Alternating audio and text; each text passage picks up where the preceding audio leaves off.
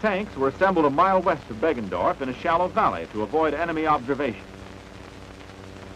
Following the air and artillery bombardment, they came out of concealment to begin the attack on 16 November. The tanks deployed over open territory as they advanced. They moved through Beggendorf toward their initial objective, Loverich. Supporting infantry of the 2nd Armored Division followed after the tanks. Although it had been in our hands for some weeks, Beggendorf was under heavy mortar fire. As tanks and men moved out from Beggendorf, they had to advance over bare fields with little cover and under constant artillery and small arms fire. Early in this attack, prisoners were taken and marched to a field behind the lines for examination.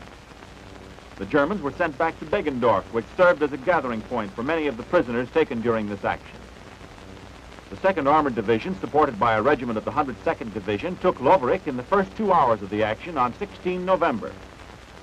The town was still under heavy mortar and artillery fire the day after its capture as troops and equipment passed through.